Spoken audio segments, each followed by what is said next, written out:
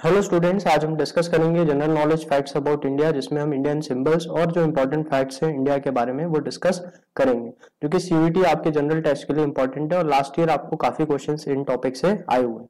तो सबसे पहले हम इंडिया की नेशनल एंथम की बात करें, जिसको आप जनगण मन के नाम से जानते हैं, जो कि ओरिजिनली कंपोज हुआ था बंगाली में रविन्द्रनाथ टैगोर के द्वारा।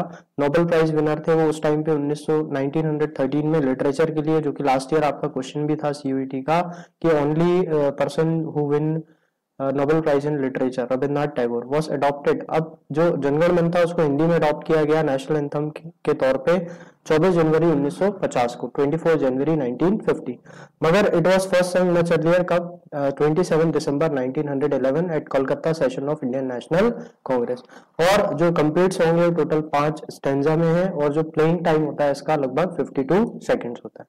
अगला हम बात करें नेशनल स्पोर्ट्स की तो जो नेशनल स्पोर्ट्स है, आपका वो क्या है? हॉकी ठीक है?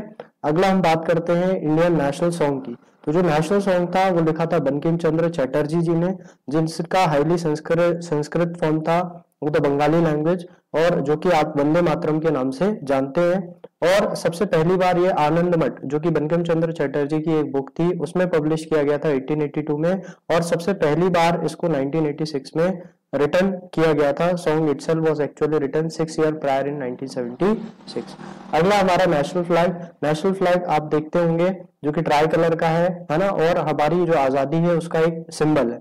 It has deep saffron colour on the top saffron जो कलर है, वो टॉप पे है। व्हाइट जो है, वो मिडल पे है। और डार्क ग्रीन जो है, वो बॉटम पे, नीचे।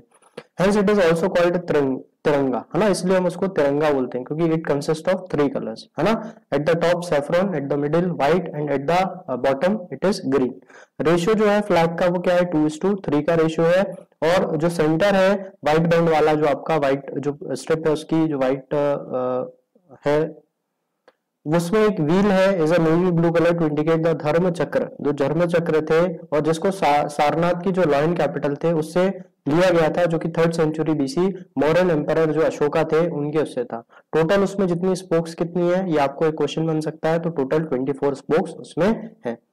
द डिज़ाइन जो था नेशनल फ्लैग का वो जब कब अडॉप्ट किया गया था वो अडॉप्ट किया गया था ट्वेंटी जुलाई 1947 में। और 26 जनवरी 2002 26 जनवरी 2002 को फ्लैग कोड में इसको चेंज किया गया।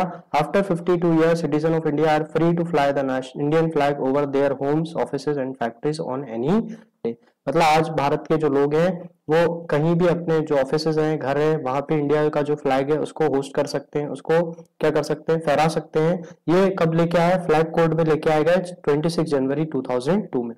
डिफरेंट कलर जो कि है वो सिग्निफाई करते हैं अलग अलग मैसेजेस जैसे सेफ्रॉन है, वो करेज सेक्रीफाइस व्हाइट जो है वो प्योरिटी और ट्रुथ का, और ग्रीन जो है वो फेथ और फर्टिलिटी का सिंबल शो करता है। अगला हमारा नेशनल एनिमल की यदि हम बात करें तो जो टाइगर है वो हमारा नेशनल एनिमल है और tiger are now getting extinct धीरे धीरे टाइगर्स क्या हो रहे हैं? खत्म हो रहे हैं। इसी को एफर्ट लेके 1973 में प्रोजेक्ट टाइगर प्रोग्राम स्टार्ट किया गया, जिसमें हम जो प्रोडक्ट जो टाइगर है, उसकी जो डिक्रीजिंग पॉपुलेशन है, उसको इंक्रीज करने के ऊपर एफर्ट लगा रहे हैं। तो आपका एक नया क्वेश्चन इसमें प्रोजेक्ट टाइगर जो प्रोग्राम है, वो कौन से ईयर में स्टार्ट किया गया? 1973 में।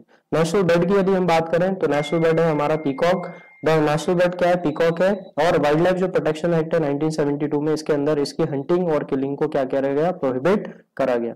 है ना?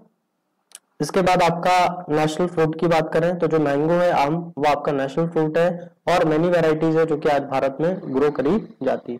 नेशनल ट्री की यदि बात करें बनियन जिसको आप बरगद के पेड़ के नाम से भी जानते हैं, वो हमारा नेशनल ट्री और नेशनल फ्लावर की बात करें तो लोटस जो कि कमल है, इसको हम नेशनल फ्लावर कहते हैं। तो आज हमारी सीरीज़ थी जनरल नॉलेज फैक्ट्स की, जो कि इंपॉर्टेंट है आपके सीवीटी के एग्ज़ाम्स के लिए। हम ऐसे ही और वीडियोस आपके लिए लाते रहेंगे। हम कोशिश करेंगे 40 डेज़ में आपकी जो जनरल टेस्ट है, वो पूरा जनरल जो नॉलेज है अवेयरनेस है, वो अच्छी हो जाए। साथ ही साथ हम जो आपके डोमेन सब्जेक्ट्स हैं, उनके वीडियोस भी जल्दी लेके आने वाले हैं। तो आप हमारे साथ चैनल में जुड़े रहें और यदि आप नए हैं तो इस चैनल को सब्सक्राइब करें, अपने फ्रेंड्स के साथ इनको शेयर करें, ताकि हम एक फ्री एजुकेशन की जो पहल है, उसको आगे बढ़ा सकें। Thank you